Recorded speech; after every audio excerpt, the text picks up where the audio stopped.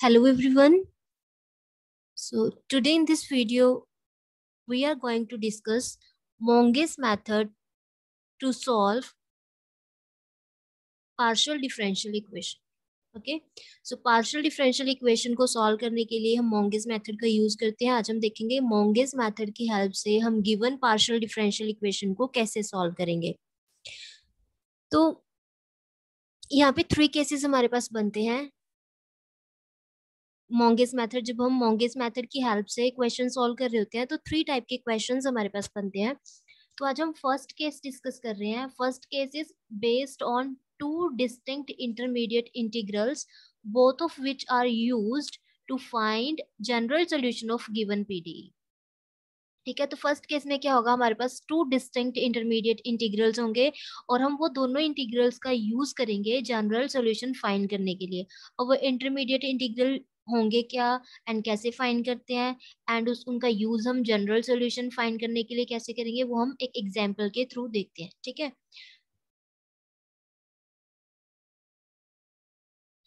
तो Monge's method की help से हम किस टाइप की पार्शियल डिफरेंशियल इक्वेशन को सॉल्व कर सकते हैं? देखो, अगर हमारे पास इक्वेशन इस फॉर्म में दिया हो capital R small r plus capital S small s plus capital T small t is equal to V इस फॉर्म में अगर इस टाइप का कोई भी हमें पार्शियल डिफरेंशियल इक्वेशन दिया हो तो हम उसको सॉल्व करने के लिए मोंगेस मेथड का यूज़ कर सकते हैं, ठीक है?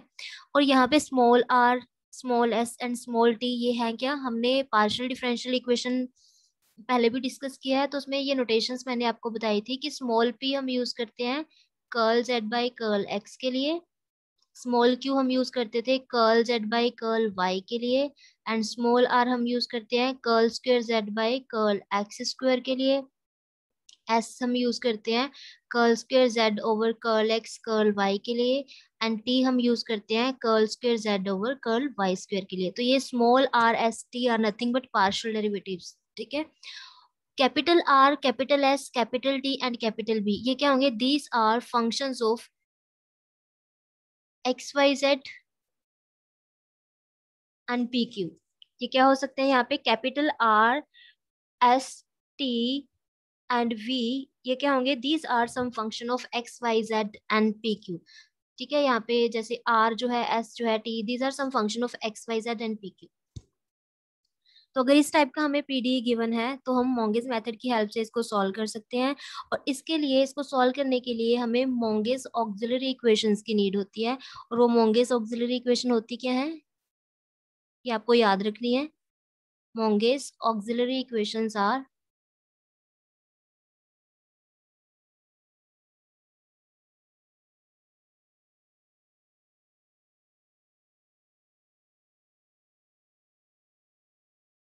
r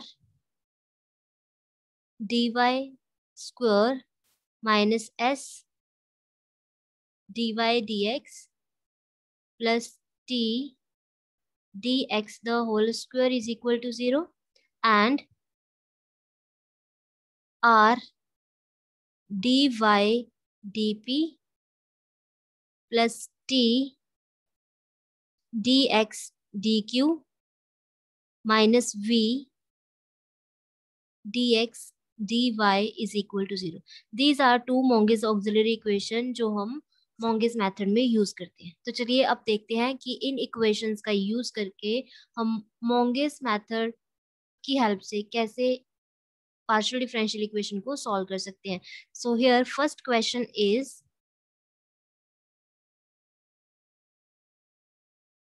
solve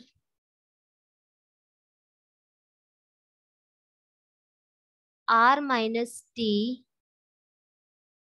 cos square x plus p tan x is equal to zero. Solve this partial differential equation.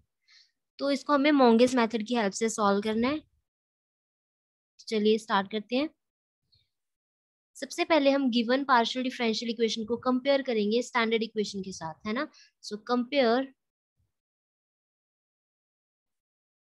it with R r plus S s plus T t is equal to V अगर हम given equation को इससे compare करते हैं, जो small r का coefficient होगा, वो कैपिटल आर होगा। तो यहाँ पे स्मॉल आर का कोफिशिएंट कितना है? वन है। तो कैपिटल आर की वैल्यू हमारे पास कितनी है? वन है। स्मॉल एस का कोफिशिएंट कैपिटल एस है एंड इस इक्वेशन में हमें स्मॉल एस कहीं पे भी दिखाई नहीं दे रहा है। इट मीन्स यहाँ पे स्मॉल एस की वैल्यू कितनी है? ज़ीरो है। स्मॉल टी का जो कॉफिशियंट होगा, वो कैपिटल टी होगा तो स्मॉल टी का जो कॉफिशियंट है वो कितना है? Minus cos square X and right hand side पे जो वैल्यू होगी, वो वी होगी। देखो, यहाँ पे वैल्यू क्या आ रही है हमारे पास? यहाँ पे आर है। एस से रिलेटेड कोई टर्म हमारे पास है नहीं। टी से रिलेटेड ये है। तो ये टर्म हम राइट हैंड साइड पे शिफ्ट करेंगे ना इस इक्वेशन के अकॉर्डिंग आपने लेफ़्ट हैंड साइड पे small r small s and small t से रिलेटेड टर्म्स रखनी है। तो ये आर एस से रिलेटेड है नहीं, ये टी से रिलेटेड है तो इसको आप राइट हैंड साइड पे शिफ्ट करोगे। तो इसको जब आप राइट हैंड साइड पे शिफ्ट करोगे तो कितना आएगा? माइनस पी टेन एक्स और वही वी की वैल्यू होगी। तो हमारे पास कैपिटल वी कितना है यहाँ पे दिया हुआ? Minus P ten X this is the value of capital V clear अब हमने क्या करना है? हमें करना है मोंगेज ऑक्सिलरी इक्वेशन का यूज़ ठीक है? So as we know that Monge's auxiliary equations are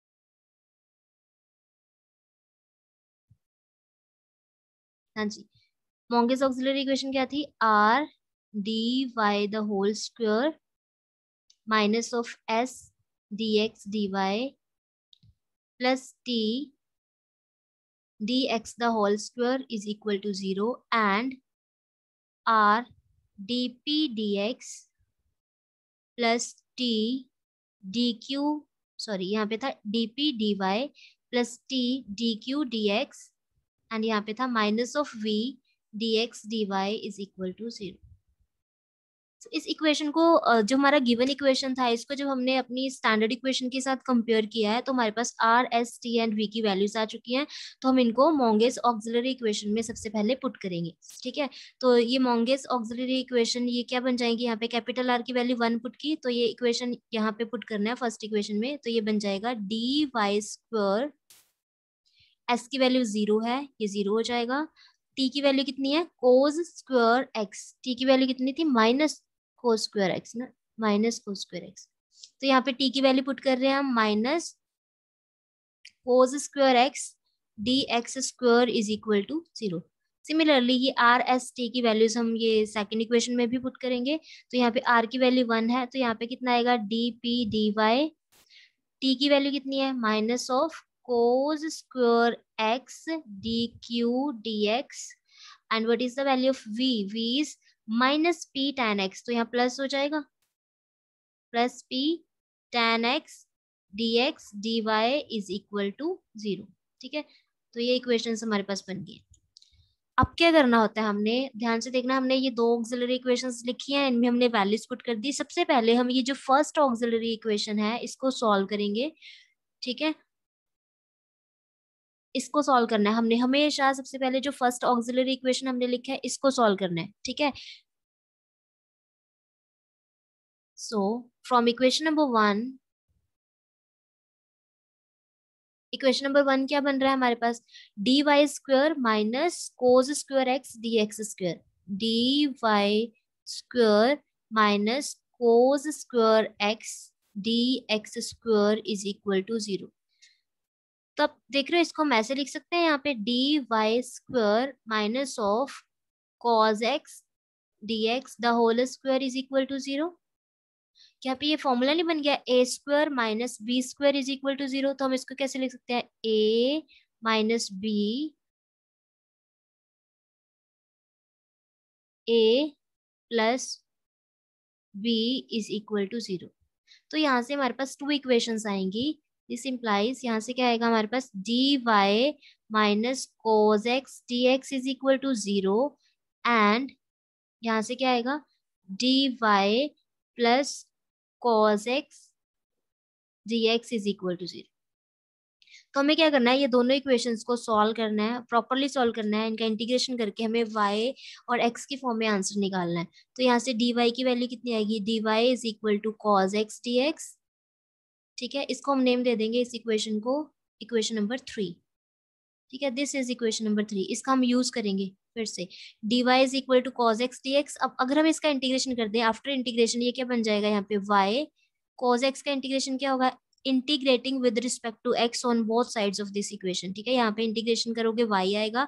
Cos x का इंटीग्रेशन क्या होता है? Sine x.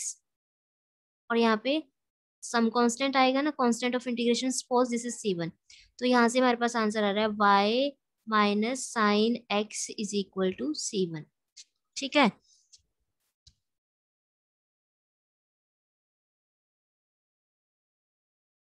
एंड ऐसे ही हमने ये सेकंड इक्वेशन को सॉल्व करना है। यहाँ से हमारे पास डी वाई की वैल्यू कितनी आएगी? D Y is equal to minus of cos X D X and इसको हम अगर सॉल्व करेंगे after integration with respect to x on both sides of this equation, we get y और cos x का integration क्या होता है? Sin x minus of sin x आएगा plus some constant of integration तो यहाँ से हमारे पास आंसर आएगा one plus sine X is equal to C two हमने क्या किया, जो हमारा फ़र्स्ट ऑक्सिलरी इक्वेशन था, उसको सॉल्व किया और उसको सॉल्व करने पे हमारे पास यहाँ पे टू डिफरेंट डिफरेंट इक्वेशंस आई थी और वो इक्वेशंस को हमने सॉल्व कर लिया ठीक है? ये फ़र्स्ट इक्वेशन को सॉल्व करने के बाद आंसर आया, ये सेकेंड इक्वेशन को सॉल्व करने पे आंसर आया। और यहाँ से ये जो इक्वेशन थी, जैसे हमने इसको इक्वेशन नंबर थ्री नेम दिया, इसका यूज़ भी हम करेंगे, इसको हम नेम दे देते हैं इक्वेशन नंबर फोर अब क्या करना है, देखो यहाँ से जो इक्वेशंस आती है ना, जैसे ये इक्वेशन आया और ये इक्वेशन आया, इसको सॉल्व करके ये बना। है ना? ये दो इक्वेशन चाहिए अब इनका यूज़ करना है आपने, इनका यूज़ करना है आपने किसको सॉल्व करने के लिए? इक्वेशन नंबर टू में। इक्वेशन नंबर वन को सॉल्व करके टू इक्वेशन आई हैं हमारे पास। वही टू इक्वेशंस का यूज़ वन बाय वन आपने सॉल्व करना है इक्वेशन नंबर टू को सॉल्व करने के लिए। देखो मैंने यहाँ पे केस में क्या लिखा है यहाँ पे? Based on two distinct intermediate integrals अब इंटरमीडिएट इंटीग्रल्स कौन से होंगे? वो जब हम फाइंड करेंगे टू लिखा ना टू डिस्टिंक्ट इंटरमीडिएट इंटीग्रल्स तो वो इंटरमीडिएट इंटीग्रल्स हम फाइंड करेंगे। कैसे फाइंड करना है वो?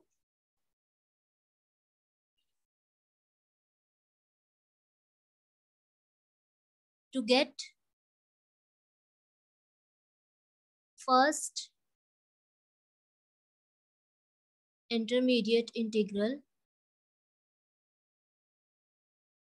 हमें क्या करना है? जो इक्वेशन नंबर वन को सॉल्व करके टू इक्वेशन आई थी, उनका यूज़ करना है, ठीक है? एक ये इक्वेशन बनी थी हमारे पास और एक ये इक्वेशन बनी थी। तो पहले हम फ़र्स्ट इंटरमीडिएट इंटीग्रल निकालने के लिए इक्वेशन नंबर थ्री का यूज़ करेंगे। किसमें? जो हमारा सेकंड ऑक्सिलरी इक्वेशन था। जो हमारा सेकेंड एक्सिलरी इक्वेशन था। सेकेंड एक्सिलरी इक्वेशन कौन सा था हमारा? ये था। सेकेंड ऑक्सिलरी इक्वेशन ये था। अब equation number two and equation number three की हेल्प से हमें वो इक्वेशन नंबर टू को सॉल्व करना है। अब आप देख रहे हो इक्वेशन नंबर थ्री से डी वाई की वैल्यू क्या आ रही है? कॉज एक्स डी एक्स तो हम ये वैल्यू उठा के कहाँ पे पुट कर देंगे? इक्वेशन नंबर टू में, जहाँ जहाँ भी डी वाई है हमारे पास, ये देखो। डी वाई की वैल्यू कितनी आ रही है? Cos X D X so from equation number two and three, हमने देखा कि डी वाई की वैल्यू आ रही है हमारे पास कितनी? Cos x dx equation number three से। इसको हम पुट करने जा रहे हैं इक्वेशन नंबर टू में ओके ध्यान से देखना है इक्वेशन नंबर टू में हम पुट करेंगे। तो यहाँ पे क्या है? dp dy, ठीक है? dp dy dp into D Y D Y की वैल्यू कितनी है? cos x dx ये हमने यहाँ पे पुट कर दी। नेक्स्ट स्टेप में, यहाँ पे है minus cos square X D Q D X यहाँ पे तो डी वाई है ही नहीं तो हम इसको एज इट इज़ रख देंगे। Minus cos square X minus cos square X D Q D X and next term क्या है? यहाँ पे आ रहा है डी वाई अब यहाँ पे वैल्यू पुट करेंगे हम, देखो P tan X D X as it is लिखेंगे यहाँ पे। P tan X D X into D Y था। तो वाई को हम क्या पुट करने जा रहे हैं यहाँ पे? X D X this is equal to zero यही था। है ना? यहाँ पे plus P tan X D X as it is लिखा डी की वैल्यू हमने यहाँ पे पुट कर दिया अब क्या करना है? अब यहाँ से आप देख रहे हो, कोई कोई कुछ वैल्यू कॉमन आ पा रही है क्या? डी एक्स यहाँ भी है, यहाँ भी है डी एक्स यहाँ भी है तो इसको हम कॉमन निकाल देते हैं। डी एक्स से चलो डिवाइड कर दिया या कॉमन निकाल लिया तो बचा क्या हमारे पास यहाँ पे? कॉज एक्स डी पी अच्छा कॉज एक्स भी तो कॉमन आ रहा है ना? कॉज एक्स डी एक्स यहाँ भी है कॉज एक्स डी एक्स यहाँ भी है कॉज एक्स डी एक्स यहाँ भी है तो हम कॉज एक्स डी एक्स ही कॉमन निकाल देते हैं। तो cos X D X common निकालने के बाद यहाँ पे बचा क्या D P minus cos X D X हमने कॉमन निकाल दिया तो बचा क्या यहाँ पे कॉज एक्स डी क्यू यहाँ से भी हमने cos X D X common निकाल दिया तो बचा क्या यहाँ पे P tan X D X is equal to zero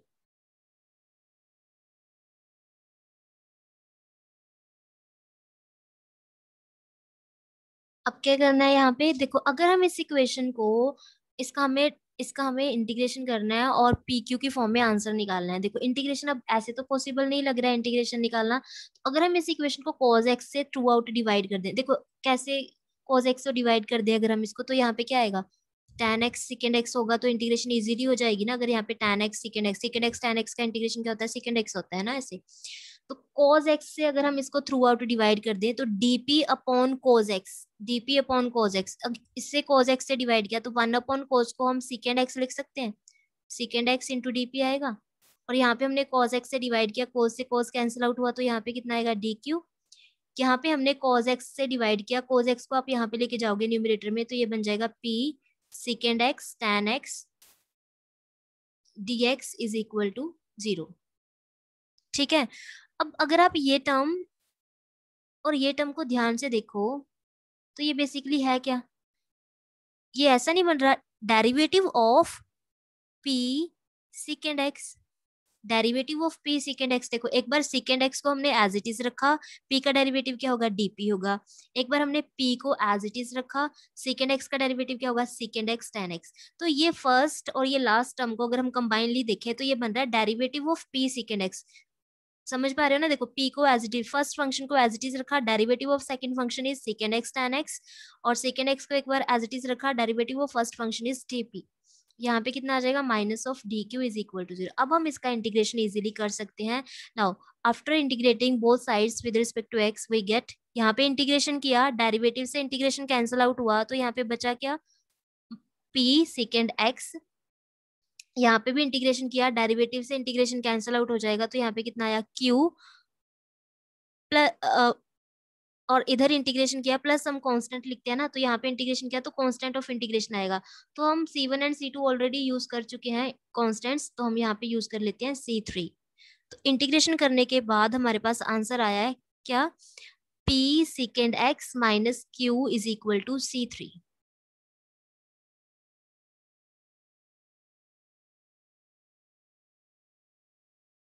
समझ आया? अब क्या करना है? ऐसे ही, जैसे हमने इक्वेशन नंबर थ्री का यूज़ करके इक्वेशन नंबर टू को सॉल्व किया है, वैसे ही हम इक्वेशन नंबर फोर का यूज़ करके इक्वेशन नंबर टू को सॉल्व करेंगे एंड सेकंड इंटरमीडिएट इंटीग्रल हमारा जो होगा वो फाइंड करेंगे। ठीक है?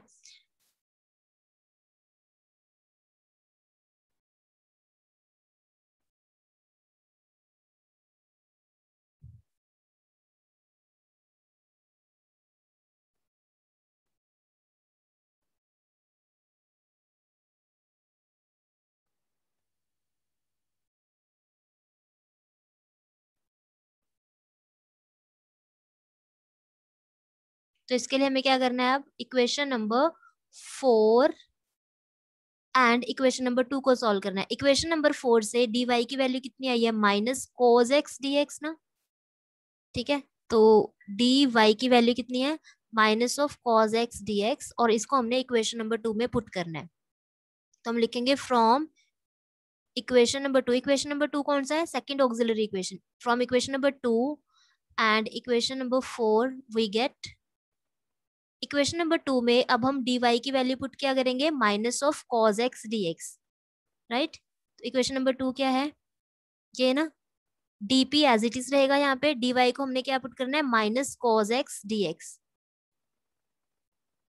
dp यहाँ पे minus cos x d x and आगे क्या था हमारे पास?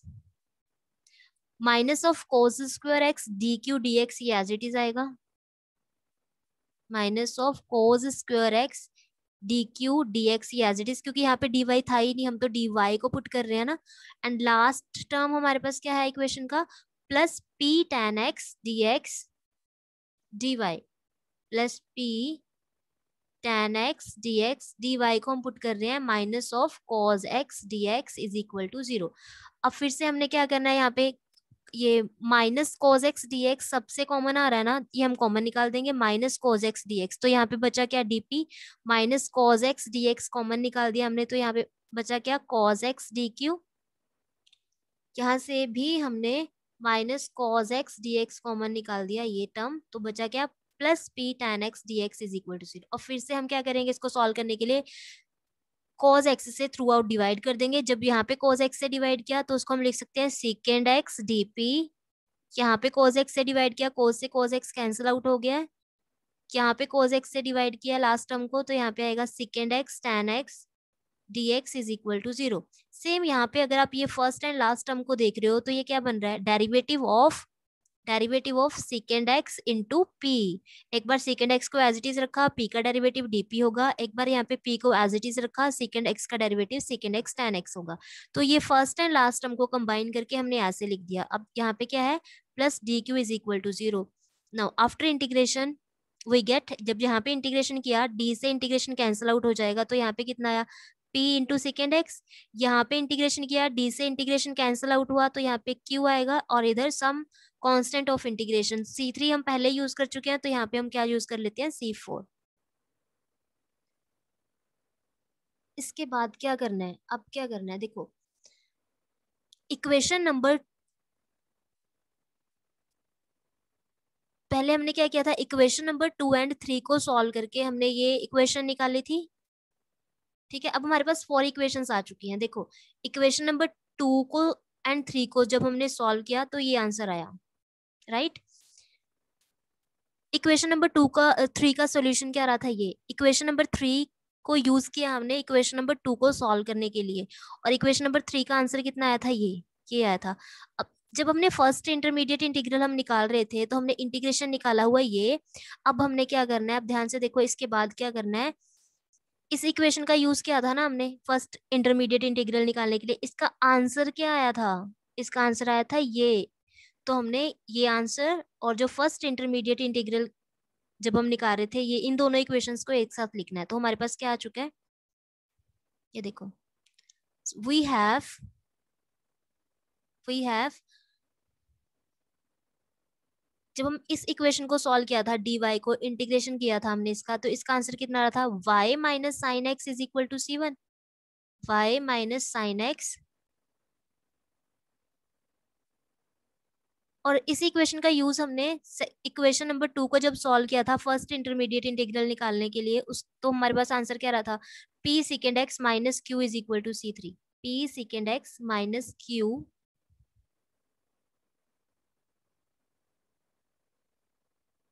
is equal to c three ऐसे ही जब हमने सेकंड इंटरमीडिएट इंटीग्रल निकाला है तो हमने इक्वेशन नंबर फोर का यूज़ किया है और हमारे पास ये आंसर आ रहा था। तो इक्वेशन नंबर फोर का सोल्यूशन जो था, वो उठाना है और एक ये सोल्यूशन दोनों को एक साथ लिखना है। इसका सोल्यूशन क्या आ रहा था हमारे पास? ये देखो, ये सॉल्व किया हुआ है ना हमने। इसका सोल्यूशन क्या आ रहा था? इस इक्वेशन का y plus sine x is equal to c two y plus sine x is equal to c two और इसका यूज़ करके जो हमने आंसर निकाला है, वो कितना आ रहा है? P secant x plus q is equal to c four p secant x plus q is equal to c four इन दोनों की हेल्प से हमें मिलेगा फ़र्स्ट इंटरमीडिएट इंटीग्रल और इन दोनों की हेल्प से हमें मिलेगा सेकंड इंटरमीडिएट इंटीग्रल तो फ़र्स्ट इंटरमीडिएट इंटीग्रल क्या होगा? कैसे लिखते हैं फ़र्स्ट इंटरमीडिएट इंटीग्रल वो होगा फ़र्स्ट इंटरमीडिएट इंटीग्रल इज़ कैसे लिखते हैं देखो, ये p secant x p q से रिलेटेड टर्म अपने यहाँ पे लिखनी है p secant x minus q यानी हमने लिखना है c three is function of c1 c3 यानी ये this is some function f one ले ले this is some function of c one तो सी वन की वैल्यू कितनी है वाई माइनस साइन एक्स ऐसे निकालते हैं फ़र्स्ट इंटरमीडिएट इंटीग्रल ऐसे ही सेकेंड इंटरमीडिएट इंटीग्रल क्या होगा?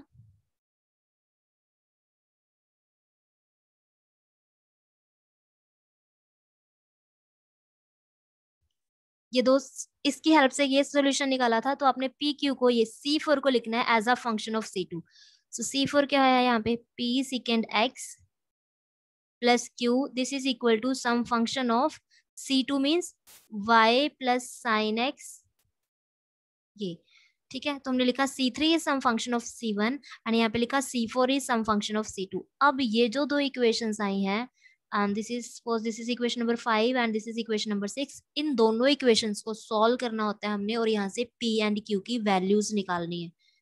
ये first and second intermediate integral निकालने के बाद हमें क्या करना होता है?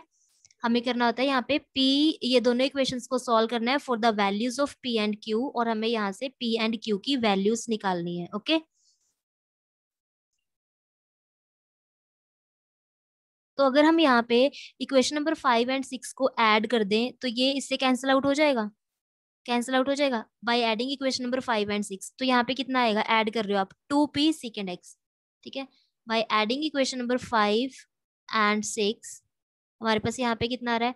Two p secant x is equal to add किया हमने। तो ये दोनों फ़ंक्शन ऐड हो जाएँगे। F one y minus sine x, ये होगा f one y minus sine x plus f two y plus sine x.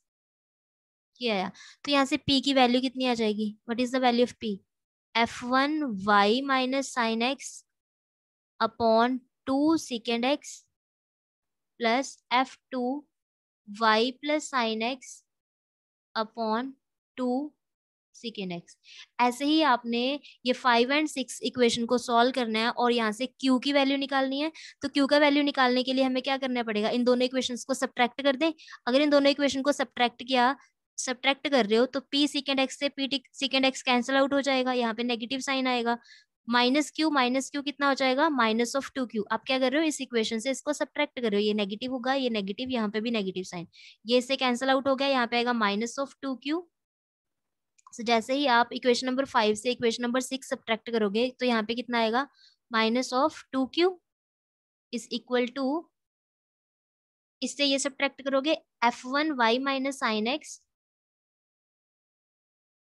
minus of f two y plus sine x and यहाँ से क्यू की value कितनी आ जाएगी फिर?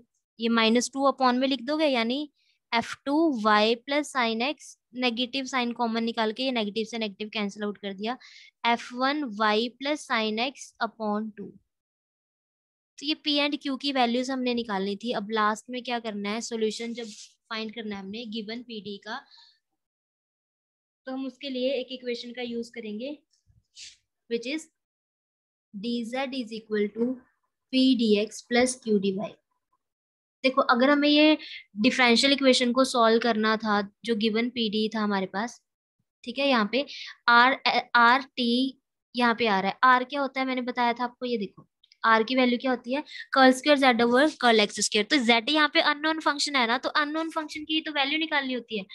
जब हम एक पार्शियल डिफरेंशियल इक्वेशन को सॉल्व कर रहे होते हैं तो उसका जनरल सोल्यूशन क्या होता है? जो भी अननोन फ़ंक्शन की वैल्यू आएगी, यानी हमें जेड फाइंड करना है तो जेड हम कहाँ से फाइंड करेंगे? इस इक्वेशन की हेल्प से। हमें क्या लिखना होता है यहाँ पे? D z is equal to p d x plus q d y तो हम यहाँ पे पी एंड क्यू की वैल्यूज़ पुट कर देंगे। And what is the value of p p की वैल्यू आ रही है f one y minus sine x upon two secant x plus f two y plus sine x upon two secant x. This is the value of p into dx plus q की value कितनी आ रही है? What is the value of q? Q की value आ रही थी हमारे पास f two y plus sine x upon two minus of f one y minus sine x upon two ये q की वैल्यू पुट की है इंटू यहाँ पे क्या आएगा? D y. क्या आएगा यहाँ पे इंटू डी वाई।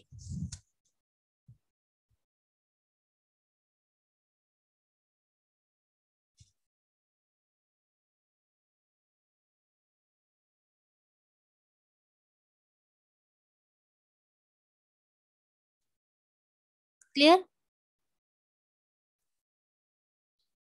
अब अगर हम इसका इंटीग्रेशन कर दें इस फ़ंक्शन का तो हमारे पास रिक्वायर्ड जनरल सोल्यूशन आ जाएगा। ठीक है? ये देखो, हम इसको कैसे, अब इसको सॉल्व कैसे करना है हमने? ये है D Z is equal to ये सिकेंड एक्स को अगर आप यहाँ पे लिख दो सिकेंड एक्स को अगर आप यहाँ पे न्यूमिनेटर में लेके जाओ, ये क्या बन जाएगा? कॉज एक्स ना? तो एक्चुअल में ये क्या है? One upon two f one y minus sine x into cos x और यहाँ पे क्या है? One upon two f two y plus sine x यहाँ पे सिकेंड एक्स को यहाँ पे लेके जाओ। ये बन जाएगा कॉज एक्स और इसके साथ यहाँ पे क्या पड़ा है हमारे पास टी एक्स है ना? और यहाँ पे क्या है ये?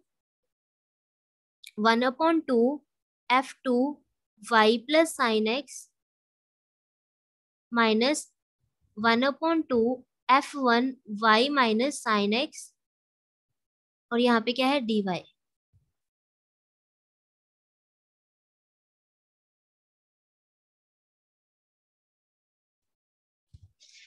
तो हमें क्या करना है? आप देखो, हमें इसका इंटीग्रेशन करना है। आप इंटीग्रेशन कैसे करें?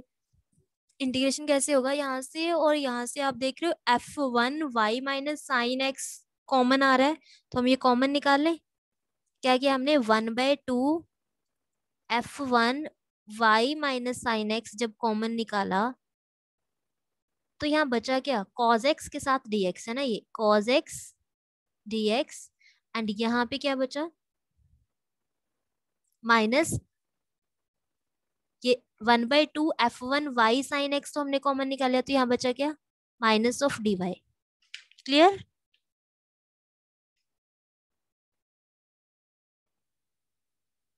है ना? ऐसे ही अगर हम यहाँ से one by two f two y plus sine x common निकाल लें तो यहाँ बचा क्या? Cos x d x plus यहाँ से f two y plus sine x and one by two तो कॉमन निकाल लिया तो यहाँ पे वन इसके साथ क्या आएगा? D y plus d y ठीक है? तो यहाँ से हमारे पास डी जेड की वैल्यू ये आ गई है।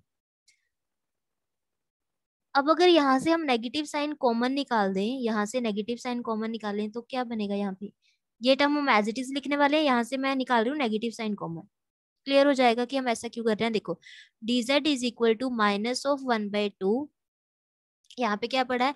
F one y minus sine x f one y minus sine x and हमने यहाँ से नेगेटिव साइन कॉमन निकाल लिया तो यहाँ पे क्या आएगा? D y minus cos x d x d y minus of cos x d x right plus one by two f two y plus sine x and यहाँ पे क्या बन रहा है? ये टर्म लिखा है कॉज एक्स ये d y plus cos x d x d y plus cos x d x ये बन गया। अब देखो, अब इसका इंटीग्रेशन करना कितना इजी है, कितना इजी है, ये देखो, ये इसको हम ऐसे लिख सकते हैं d z is equal to minus of one by two f one y minus sine x and इसको क्या लिख सकते हैं, इसको हम लिख सकते हैं, देखो derivative of y plus cos x d x sorry y plus sine x d x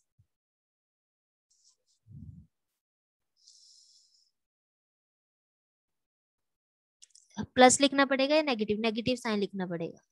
कैसे लिखा देखो ये? ये ये ये जो टर्म है ना, इसको हम लिख सकते हैं derivative of this function derivative of y करोगे तो क्या आएगा? डी वाई माइनस यहाँ पे भी है, यहाँ पे भी है डेरिवेटिव ऑफ़ साइन एक्स करोगे तो क्या आएगा? कॉज एक्स ठीक है? ऐसे ही जो नेक्स्ट फ़ंक्शन है, यहाँ पे क्या है? One by two f two y plus sine x और इसको हम क्या लिख सकते हैं? डेरिवेटिव ऑफ़ वाई अब यहाँ पे हमें कॉज एक्स चाहिए तो किसका डेरिवेटिव करने पे कॉज एक्स आएगा? Positive cos x plus sine x रखोगे तभी ना? Derivative of y is d y derivative of sine x is cos x तो यहाँ पे अब इसका इंटीग्रेशन करना देखो कितना इजी है। यहाँ पे एक फ़ंक्शन है वाई माइनस साइन एक्स का और यहाँ पे उसका डेरिवेटिव पड़ा है। तो इसका इंटीग्रेशन क्या होता है? वो फ़ंक्शन ही आ जाता है ना? जैसे ये देखो सपोज़ आपके पास फ़ंक्शन पड़ा है एक फ़ंक्शन साथ में उसका डेरिवेटिव भी पड़ा है। सपोज़ uh, यहाँ पे है sine x cos x d x ऐसे है। ये फ़ंक्शन है, ये उसका डेरिवेटिव है साइन एक्स और ये फ़ंक्शन का डेरिवेटिव तो इसका इंटीग्रेशन करना है आपने। तो इसका आंसर क्या आएगा? साइन एक्स नहीं आ जाएगा। Sine x plus some constant आप साइन एक्स को टी पुट कर दोगे cos x d x derivative हो जाएगा। तो इसका आंसर कैसा आएगा? मतलब यहाँ पे टी आएगा ना टी स्केयर अपॉन टू यानी सम कांस्टेंट आ रहा होगा, आएगा तो यही ना साइन एक्स इसका स्क्वायर हो जाएगा और अपॉन में क्या आएगा यहाँ पे? टू यानी ये फ़ंक्शन है और साथ में यहाँ पे क्या पड़ा है उसका? डेरिवेटिव पड़ा है। तो इसका इंटीग्रेशन अब हम इजीली कर सकते हैं। ठीक है? So on integrating both sides we get जब हम इसका इंटीग्रेशन करेंगे तो हमारे पास आंसर क्या आएगा? इसका इंटीग्रेशन करोगे डेरिवेटिव से ये कैंसिल आउट हो गया तो यहाँ पे जेड आएगा। और यहाँ पे क्या आ रहा है? देखो यहाँ पे minus one by two actual में ये ऐसा आएगा ना f one y minus sine x और यहाँ पे derivative of y minus sine x d x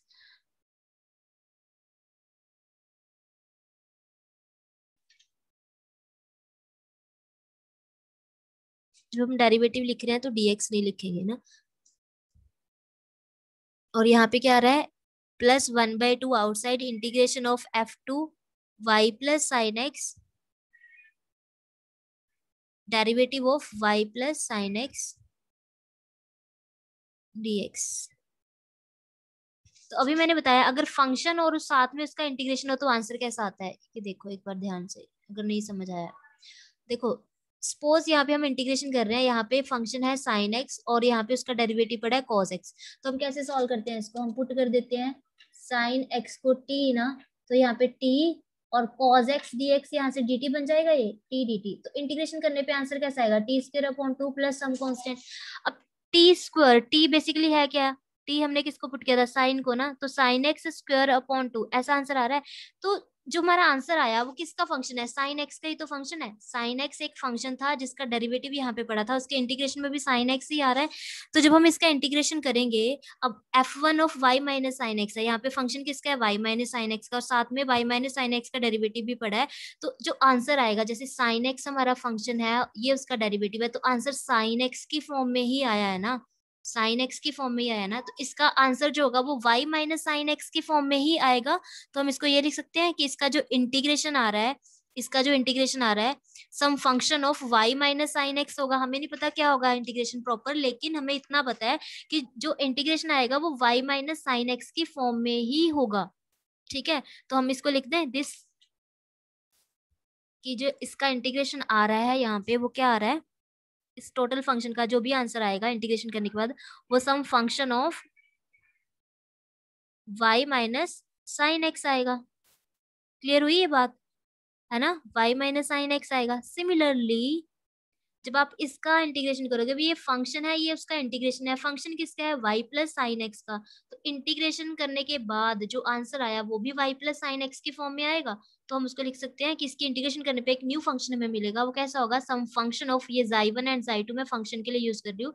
Some function of y plus sine x so this is our required answer this is our required answer ऐसे हम Monge's method का use करके partial differential equation को solve कर सकते हैं। एक बार जल्दी से ओवरव्यू ले लेते हैं इसका। देखो, क्या था हमारे पास? हमें सॉल्व करना था ये इक्वेशन ठीक है? मोंगेज मेथड की हेल्प से हम इस टाइप का इक्वेशन सॉल्व कर सकते हैं। R r plus s s plus t t is equal to v तो हमने गिवन इक्वेशन को सबसे पहले इस इक्वेशन से कंपेयर किया। तो यहाँ से हमने r s t and v की वैल्यूज़ निकाली है। उसके बाद हमने मोंगेज ऑक्सिलरी इक्वेशन यहाँ पे लिखी है और यहाँ पे आर एस टी की वैल्यूज़ पुट करने के बाद ये टू इक्वेशन आएँगी। ये टू इक्वेशन आएँगी हमेशा। तो हमने क्या करना है? सबसे पहले फ़र्स्ट जो इक्वेशन होगी उसको सॉल्व करना है और इसको सॉल्व करने के बाद हमारे पास टू इक्वेशन आएँगी। कितने इक्वेशन आएँगी? टू। तो फ़र्स्ट इक्वेशन ये थी, इसको जब हम सॉल्व कर रहे थे फॉर्मूला बना था, हमारे पास यहाँ से इसकी हेल्प से टू इक्वेशन आई थी। अब वह दोनों इक्वेशन का हमने सोल्यूशन फाइंड करना है। कर लिया सोल्यूशन फाइंड? ठीक है। उसके बाद ये फ़र्स्ट इक्वेशन का यूज़ करना है हमने सेकेंड ऑक्सिलरी इक्वेशन को सॉल्व करने के लिए इसको। तो फ़र्स्ट इक्वेशन से हमारे पास वाई की वैल्यू कितनी आ रही थी?